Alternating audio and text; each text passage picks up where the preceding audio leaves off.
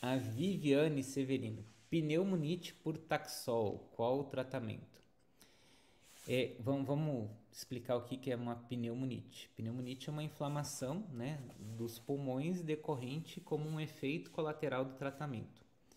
Isso não é muito comum de acontecer, tá? Mas já vi acontecer. É, e isso indica que a gente tem que suspender, por enquanto, Viviane, seu tratamento. Às vezes até ver outras abordagens, outro tratamento que possa funcionar, tá? Ou quem sabe dar uma ajustada na dose, tá? Ver o que, que aconteceu, né? Se foi a primeira vez que você fez e já te deu pneumonite, provavelmente vão trocar seu esquema, tá? Agora, se você vinha fazendo e agora que de repente deu, o oncologista clínico vai avaliar aí é, como que isso vai ser feito, tá? Mas o tratamento primeiro é suspender a medicação, né? Você provavelmente vai internar.